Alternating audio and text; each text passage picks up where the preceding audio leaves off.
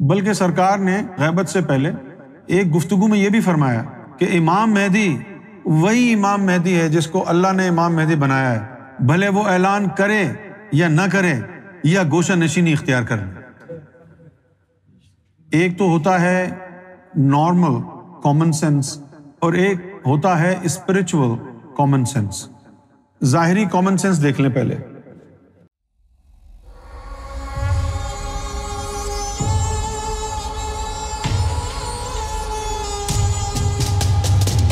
रहमत करीम। आपसे सवाल है, मुर्शिद का पर्दे में जाने का राज क्या है?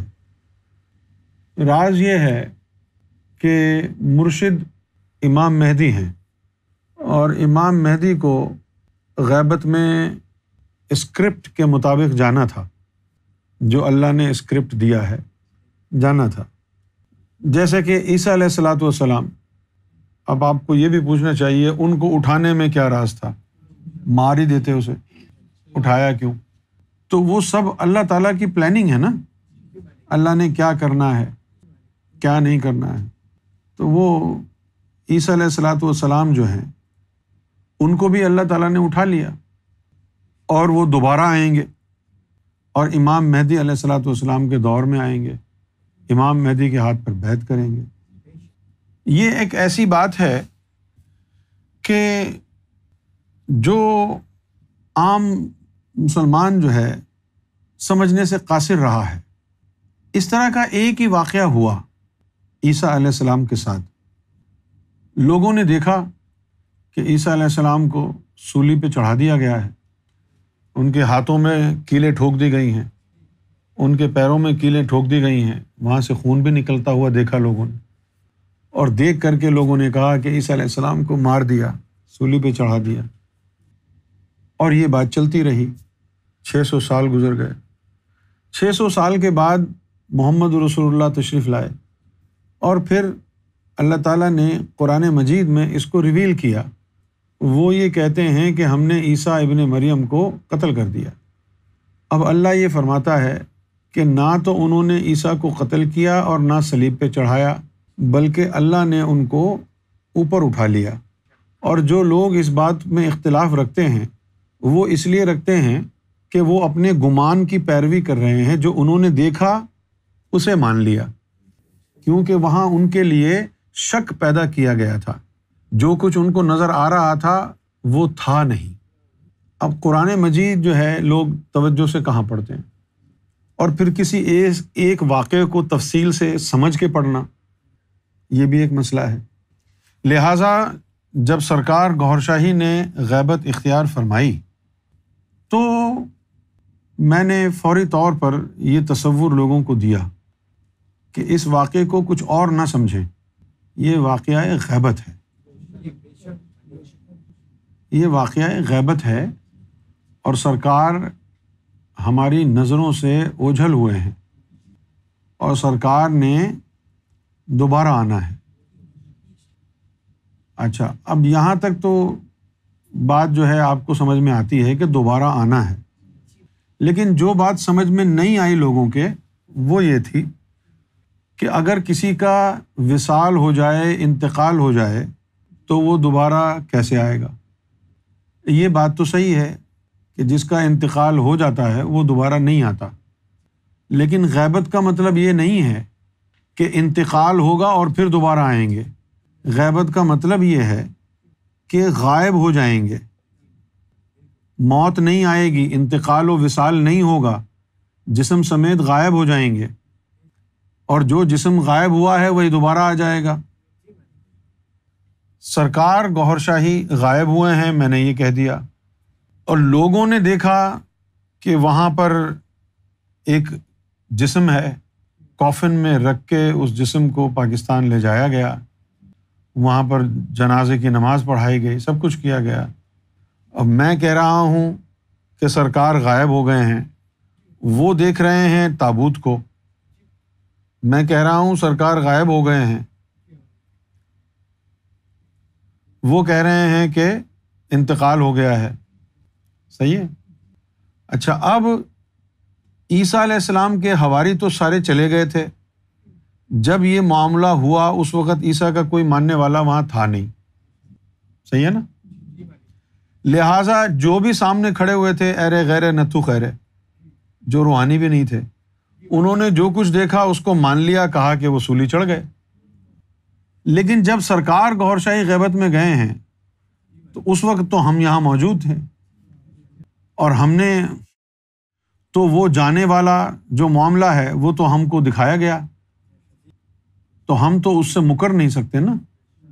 हमने तो वो चीज़ भी देखी जो कॉफिन में रख के लेके गए, और हमने वो चीज़ भी देखी जो गायब हो गई। जब सत्ताईस नवंबर को छः बजकर पैंतीस मिनट पर मिसबा ने मुझे ये कहा कि लगता है कि सरकार नहीं है, कमरे में नहीं है, जवाब नहीं दे रहे। तो मैं जिम में था तो मैं गया। तो जब मैं गया तो उस कमरे में मुझे वही चीज़ महसूस हुई जो ख़त अदम पर महसूस होती है। यानी एक कंप्लीट वॉइड नथिंगनेस देखें, रूहानी बात कर रहा हूँ। अगर किसी का इंतकाल होता है तो इंतकाल के वक्त सिर्फ़ रूह ऊपर जाती है। लताइफ और लतीफ़ा नफ्स, ये तो जिसम में ही मौजूद रहता है। लेकिन जब हमने देखा, वो जो जिसम है तो उसमें कोई रूहानी चीज़ नहीं थी, ना लतीफ़ा नफ्स था। ये रूहानियत में हमारे लिए सबसे बड़ा सबूत है। तो हमारे लिए तो ये बात रूहानी तौर पर, तालीम के तौर पर कंफर्म हो गई। लेकिन लोगों का तो वही हाल है। लोगों के लिए तो यहाँ से कॉफिन लेके चले गए पाकिस्तान। लेकिन सैकड़ों लोग ऐसे हैं कि जब कॉफिन वहाँ पर गया और उन्होंने देखा कॉफिन में उस जिस्म को तो सैकड़ों लोगों ने कहा कि नहीं, ये सरकार का जिस्म नहीं है। सैकड़ों लोगों ने कहा।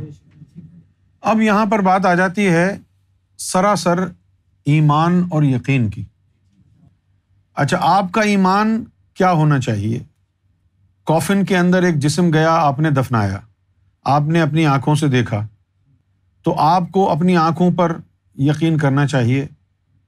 या किसी और चीज़ पर यकीन होना चाहिए आपका। यूनुस की बात पर यकीन होना चाहिए? नहीं, यूनुस की बात पर यकीन करने की ज़रूरत नहीं है। आपका यकीन होना चाहिए अल्लाह के कलाम पर। आपका यकीन होना चाहिए सरकार गौर शाही के कलाम पर। अल्लाह का कलाम कहता है कि अल्लाह ताला ने ईसा सलाम को जिसम समेत उठाया। और अल्लाह ये भी कहता है कि सूली के ऊपर भी कोई चीज़ मौजूद थी और उस चीज़ में अल्लाह ने शक पैदा किया इम्तहान के लिए। जिस तरह अल्लाह ने वहाँ सूली पर लटकी हुई चीज़ में शक पैदा किया, जिसकी वजह से लोगों को लगा ये ईसा है, इसी तरह उस ताबूत में जो चीज़ मौजूद थी, उसमें शक पैदा किया। जिसकी वजह से लोगों ने समझा कि ये माजल्ला सरकार का जिसम है। लेकिन वो सरकार का जिसम नहीं है। वैसे तो मुश्किल नहीं है इस चीज़ को समझना। लेकिन अगर कोई समझना ना चाहे तो फिर कैसे समझेगा? बहुत से लोग तो मज़ाक भी उड़ाते हैं पाकिस्तान में और जगह पर। कि जी, ये वो हैं जिन्होंने कहता है, जिन्होंने कहा है कि इनके मुर्शिद दोबारा आएँगे। फिर कोई कह कह लगा के बोलता है, जी, कोई आया है वापस कभी? अब ये मुसलमान हैं। अब कि कुरान मजीद में लिखा हुआ है, हदीसों में लिखा हुआ है, ईसा सलाम ने दोबारा आना है। तो ये कोई पहला वाक़ नहीं है कि सरकार जो है, वो दुनिया से गायब हो गए हैं और हमारा ईमान है कि सरकार दोबारा तशरीफ़ लाएँगे। ये कोई ऐसी बात नहीं है जो अनप्रेसिडेंटेड हो, जो पहले ना हुई हो। अगर पहले ना हुई होती तो फिर आपको यकीन करने में बड़ी दुश्वारी होती। मैं तो ये समझता हूँ कि ईसा सलाम का ऊपर उठाया जाना सिर्फ़ इमाम मेहदी के पैरोकारों के मदद के लिए था कि वो इमाम मेहदी की गैबत को इस वाक़े से समझ सके। वरना और को क्या राज हो सकता था उसमें? अब हम सरकार गौरशाही के मानने वाले कहते हैं कि सरकार गौरशाही गैबत में है। अब तो इंटरनेट का ज़माना है, जो पाकिस्तान में जो लोग अंजुमन सरफरोशान इस्लाम के हैं, उन्होंने भी वेबसाइटें खोली हुई हैं और अपने अकायद वहाँ लिखे हुए हैं, मज़ार बनाकर तस्वीरें लगाई हुई हैं। अब रोक थोड़ी सकते हैं? सैकड़ों लोग हैं जिनको सरकार के बारे में जब हमसे पता चलता है तो उनमें जस्तजू होती है कि ज़्यादा से ज़्यादा सरकार के बारे में मालूम हो। वो ज़्यादा से ज़्यादा मालूम हासिल करने के चक्कर में वो गूगल वूगल पर जाते हैं तो वो पाकिस्तान की जो बेहुदा लोग हैं, उनकी वेबसाइट्स आ जाती हैं, उनके अकायद आ जाते हैं। फिर ये लोग जो है कंफ्यूज होना शुरू हो जाते हैं, परेशान हो जाते हैं। लेकिन हम इस मामले में कुछ कह नहीं सकते, कर नहीं सकते। ये तो नहीं कह सकते तो पाकिस्तान में जो भी साइट बनी हो इनको ना देखो। देखना है तो देखो, तुम्हारा अपना इम्तहान है।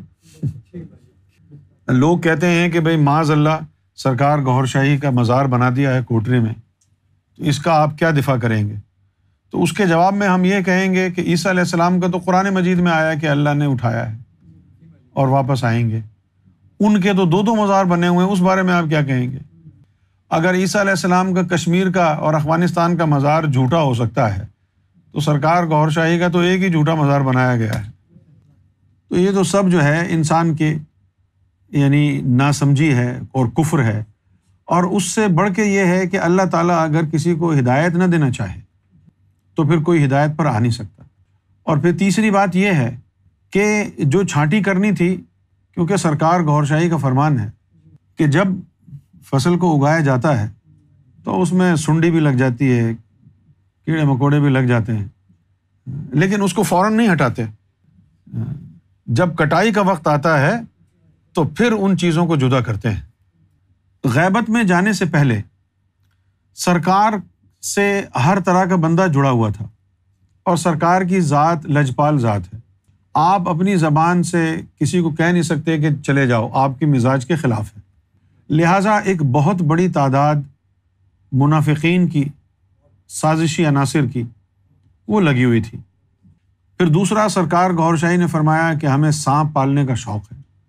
लिहाजा ऐसे मुनाफिकीन को सरकार ने कुछ नहीं कहा कि ठीक है, चलने दो। देखते हैं कि ये कहाँ तक चलते हैं। लेकिन फिर जब वाक़ गैबत हुआ तो वाक़ गैबत की वजह से पहले तो वो दावा कर रहे थे कि हम मानने वाले हैं, हम मानने वाले हैं। अब जब वाक़ गैबत हो गया तो अब ये इतनी बड़ी बात हो गई उनके लिए कि इस पर वो पूरे नहीं उतर सकते थे, क्योंकि इसके ऊपर अमल की नहीं, ईमान की ज़रूरत थी। और मुनाफिक के पल्ले ईमान होता नहीं है। लिहाजा जितने भी वो लोग थे, मुनाफिकीन, वो गैबत हुई तो वो अलग हो गए। अब जब गैबत का मामला हुआ तो क्या हुआ कि जितने भी सरकार के मानने वाले थे, सबको मेरे ख़िलाफ़ किया गया। आस्थानों पर मेरे ख़िलाफ़ तकरीरें की गई। अहल खाना ने भी, अंजुमन वालों ने भी सब मेरे ख़िलाफ़ बोलने लगे। कोई कहता है ये शैतान है, कोई कहता है इबलीस है, कोई कहता है इस्लाम का दुश्मन है, कोई कहता है सरकार का दुश्मन है। इस तरह की चीज़ें हुई। और मैं अकेला रह गया। अब मुझे मिशन की दौड़ भी दी ड्यूटी पर भी बिठाया सरकार ने। ड्यूटी पर बिठाया और फिर अकेला रह गया। अब मैं सोचता था, ड्यूटी पर बिठाया है तो मैं अकेला रह गया हूँ। किसको लेके चलूँगा? बड़ी मेहनत की। एक एक बंदे को समझाने के लिए दूर दूर गया। तो जो सारे के सारे मेरे खिलाफ हो गए थे, फिर उनमें मैं गया। सरकार ने मुझे फरमाया कि तुम आवाज़ दो, गौहर की सदा लगाओ। जो गौहर वाला होगा तुम्हारे साथ आके मिल जाएगा। तो हमने आवाज़ लगाई, आहिस्ता आहिस्ता, मैं तो अकेला ही चला था जानब मंजिल मगर लोग मिलते गए, कारवां बनता गया। और इस तरह जो है, ये रास्ता बड़ा कठिन रहा। इस रास्ते में हर लम्हा, हर पल आजमाइश होती रहती है। आज भी आजमाइश हो रही है, कल भी आजमाइश हो रही थी, और आने वाले कल में भी आजमाइश होगी। जितनी आजमाइश ड्यूटी वाले की होती है, उसकी रत्ती बराबर भी आपकी आजमाइश नहीं होती। वो हर लम्हा अंगारों पर है। हर लम्हा अंगारों पर है। लेकिन उसका बचाने वाला भी बड़ा है। मैंने तो कह दिया कि ये वाक़ गैबत है। और उसके कुछ छः महीने बाद फिर मैंने दीन इलाही में पढ़ा कि दीन इलाही में लिखा हुआ है कि इमाम मेहदी ने दोबारा आना है। उस वक़्त तो मैंने पढ़ा भी नहीं था, जब मैंने कहा कि गैबत हो गई है। तो अब जैसा कि मैंने अर्ज़ किया कि एक तो वो मंज़र है जो आपने अपनी आँखों से देखा कॉफ़िन और फिर जनाजा और फिर ख़बर। एक तो वो मंजर है जो आपने आँखों से देखा। और एक वो बात है जो सरकार ने कही तो अब आपने क्या करना है? आपने वो कर, मानना है जो आपकी आँखों ने देखा है, या आपने वो मानना है जो सरकार ने कहा है? इस यही कामयाबी का रास्ता है कि सामने कुछ भी नज़र आए, ईमान हमारा वो होना चाहिए जो हमारे मालिक ने हमें हुक्म दिया जब सरकार बरसों पहले से कहते आए कि एक वक्त आएगा कि हम गायब हो जाएँगे या गोशा नशीनी इख्तियार कर लेंगे, बल्कि सरकार ने गैबत से पहले पाकिस्तान में एक गुफ्तगु में यह भी फरमाया कि इमाम मेहदी वही इमाम मेहदी है जिसको अल्लाह ने इमाम मेहदी बनाया है। भले वो ऐलान करे या ना करे, या गोशा नशीनी इख्तियार कर ले। ये सरकार के अल्फाज हैं। अच्छा अब हमारा हमारा जो तरीक़ा है, वो सरकार उसमें हमारे मददगार हैं। एक तो होता है नॉर्मल कॉमन सेंस और एक होता है स्पिरिचुअल कॉमन सेंस ज़ाहरी कॉमन सेंस देख लें पहले। ये पानी है, आपको नज़र आ रहा है। आ रहा है या नहीं आ रहा? तो अब आपकी कॉमन सेंस क्या है कि ये पानी मेरे पीने के लिए है? लिखा हुआ तो नहीं है ये। ये यूनुस के पीने के लिए है। नहीं लिखा ना? लेकिन ये पानी है और ये यहाँ रखा है। तो आपको पता होगा कि ये मेरे पीने के लिए इसी तरह कुछ बातें ईमान के हवाले से होती हैं। उसमें कामयाब वो होता है जो आँखें बंद कर ले, कान बंद कर ले, और सिर्फ़ उस पर यकीन करे जो मुर्शिद ने कहा है। न किसी की सुने, न आँखों की देखी को माने। जिस तरह सरकार गौहर शाही ने एक जुमला कहा कि इमाम मेहदी के दुनिया से जाने के बाद दुनिया को एक भी सांस लेने का हक नहीं। अब कॉमन सेंस क्या कहता है? बताओ आप मुझे। तो अब अगर हम सांस ले रहे हैं, दुनिया चल रही है तो क्या मतलब है इसका?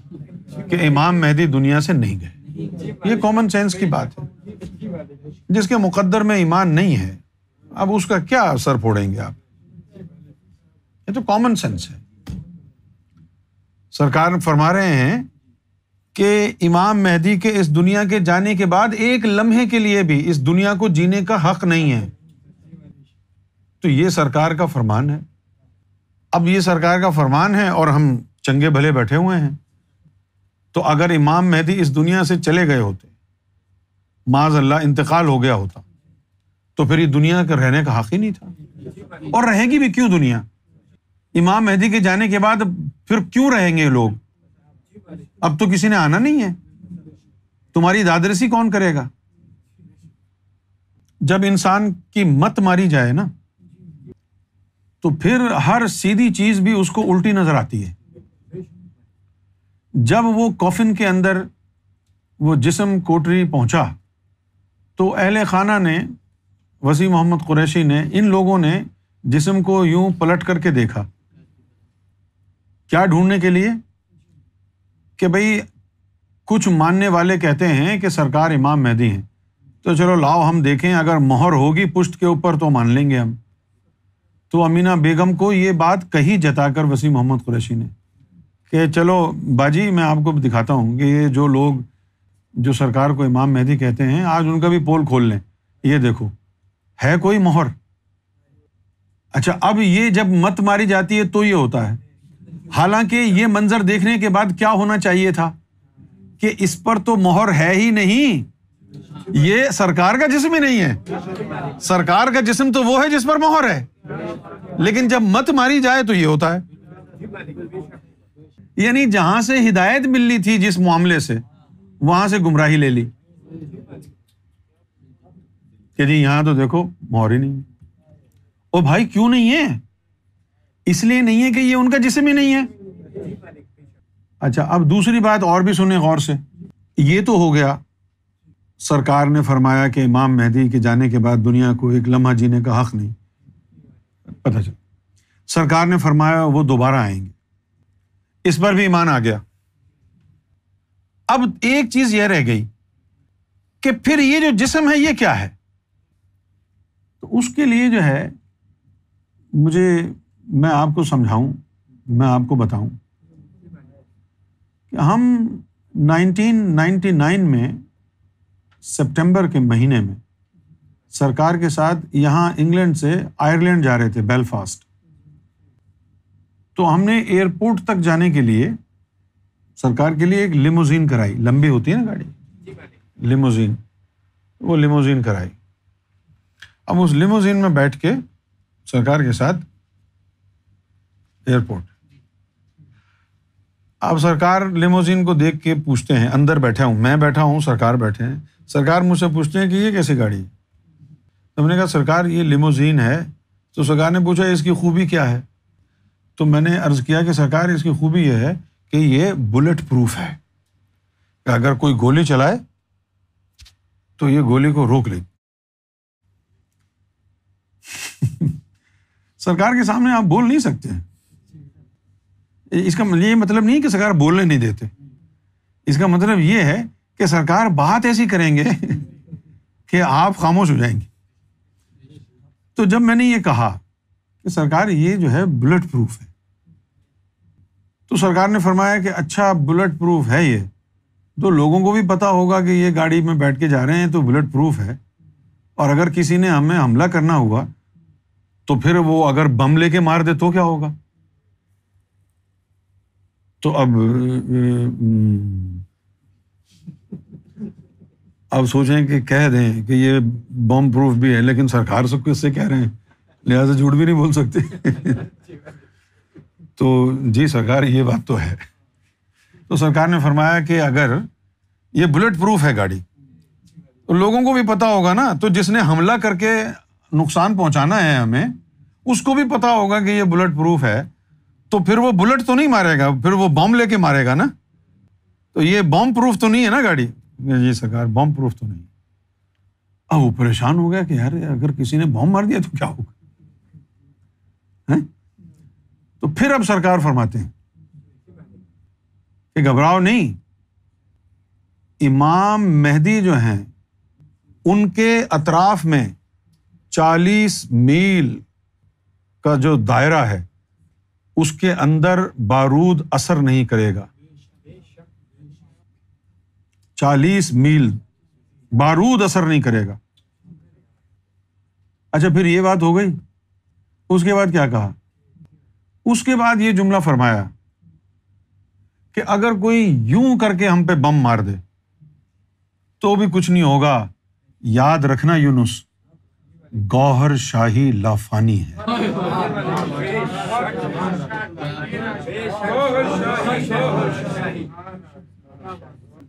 सरकार ने फरमाया, गौहर शाही का मौत से कोई ताल्लुक नहीं। यार, ये वो लफ्ज हैं, ये वो बातें हैं जो सरकार ने हमको कही हैं। अब तुम हमको बेवकूफ़ बनाओगे कि जी सबको मरना होता है और ये होता है और वो होता है। हमको तो बेवकूफ़ नहीं बना सकते। जब हम अब हमने जो बात सरकार की ज़ुबान मुबारक से सुनी तो उस बात के खिलाफ हम किसी अहल खाना की बात को क्यों मानेंगे?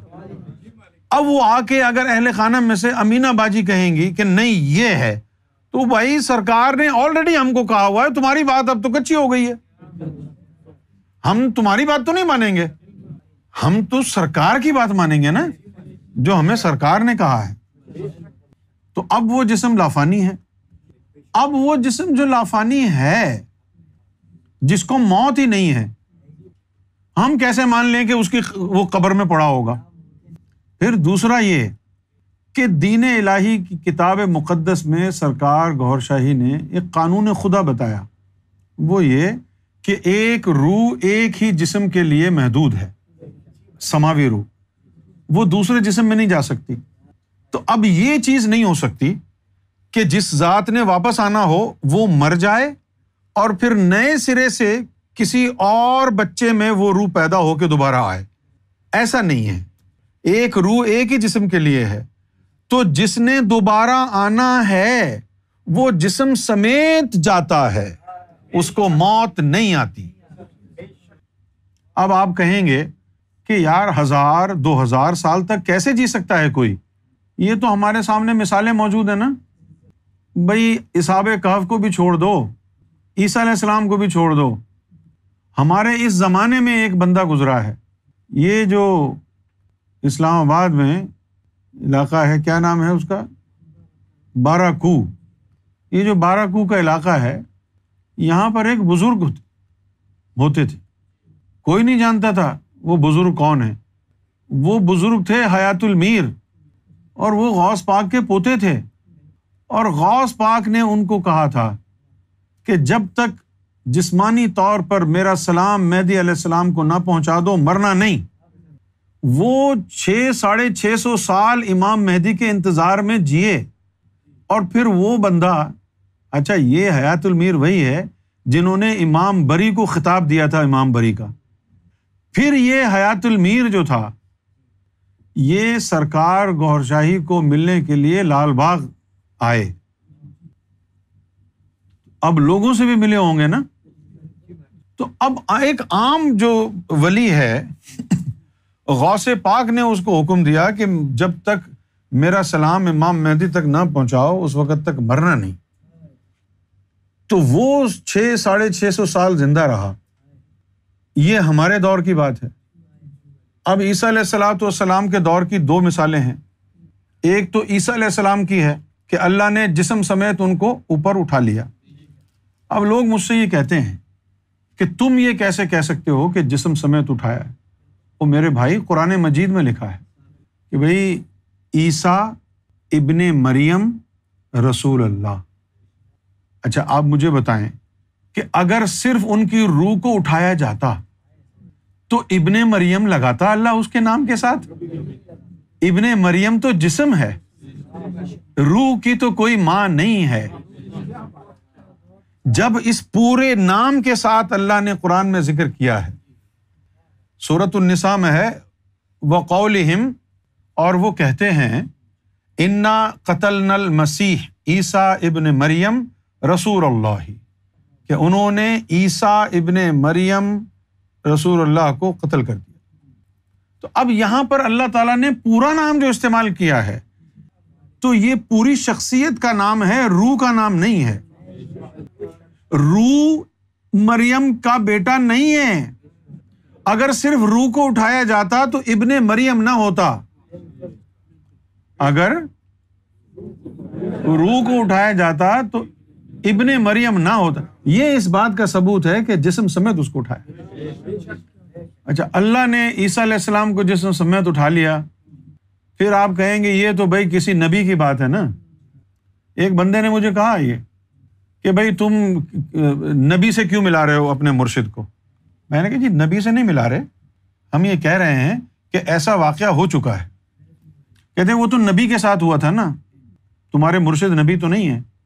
उनका बिल्कुल, हमारे मुर्शिद नबी तो नहीं है। लेकिन ये वाक़ इसाब कहफ के साथ भी तो हुआ है। तीन तीन सौ साल के कई मुराकबे लगे उनको। उनकी अपनी ताकत थी? नहीं। इसका ज़िक्र कुरान मजीद में आया है। पूरा वाक़ है सूर्य कहफ में। तो अब सरकार गौहर शाही, इमाम मेहदी। इमाम मेहदी एक ही है। और नबी तो सवा लाख थे। इमाम मेहदी तो एक ही है। पता नहीं क्यों, लोगों के अजहान में मौलवियों ने ये बात डाली कि सबसे आला मकाम और मर्तबा नबियों और रसूलों का है। सबसे आला मर्तबा मकाम नबियों का है। है। आम इंसानों के लिए है। लेकिन कुछ इंसान ऐसे भी तो है ना इसी दुनिया में कि जिनको अल्लाह ताला ने किसी नबी, किसी मज़हब के ज़रिए अपना रास्ता नहीं दिखाया, बल्कि खुद उनसे यारी की, बगैर वसीले के। कई हस्तियाँ ऐसी गुजरी हैं, जिस तरह एक तो सरमत था। इसी तरह इंडिया के अंदर एक हस्ती गुजरी है, शाह कमाल केतली रहमतुल्लाह सरकार गौर शाही ने फरमाया, मैंने खुद सुना, सरकार ने फरमाया कि वो जो इंडिया वाले शाह कमाल हैं, वो गौसुल आज़म के हम पल्ला हैं रूहानियत में। हिंदुस्तान में उनका मज़ार है। तो इमाम मेहदी सलाम जब तशरीफ़ लाए हैं तो जो हस्तियाँ बराह रास्त जिनको अल्लाह ने अपनी मोहब्बत और विलायत अता की, वो भी इमाम मेहदी सलाम के जो है पैरोकारों के मददगार बने हुए हैं। जैसे अब ज़्यादातर लोग ऐसे हैं जिनके अंदर मज़हब का रंग नहीं है, मजहबी कहलाते हैं। अब हम यहाँ बैठे बैठे क्या करेंगे? यहाँ बैठे बैठे हम तो कुछ नहीं कर सकते ना। अब जैसे बांग्लादेश है, इंडिया है, यहाँ हिंदू हैं, सिख हैं, अब उनको फैज़ वगैरह देना है या कुछ और तो वो जो हस्तियाँ हैं, वो हमारे बिहाफ पर वहीं से जाके उनको पकड़ के सरकार तक पहुँचा देते इमाम मेहदी सलाम की जो ज़ात वाला है, ना इमाम मेहदी जैसा हो सकता है कोई, ना हुआ है। और ना होगा। और इमाम मेहदी सलाम के जिस्म की शनाख्त नामुमकिन है।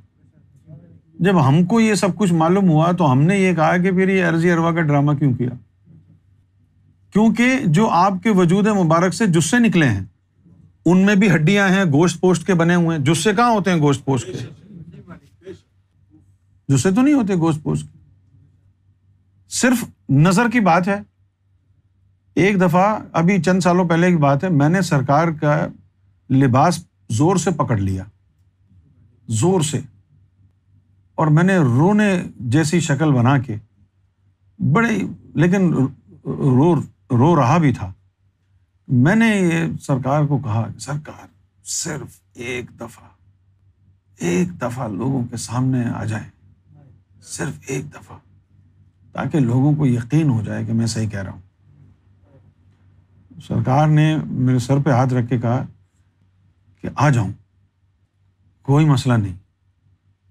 लेकिन अगर मैं आ गया और फिर इनका ईमान हुआ कि हाँ मैं कहीं गया नहीं तो फिर वो ईमान बेकार चला जाएगा।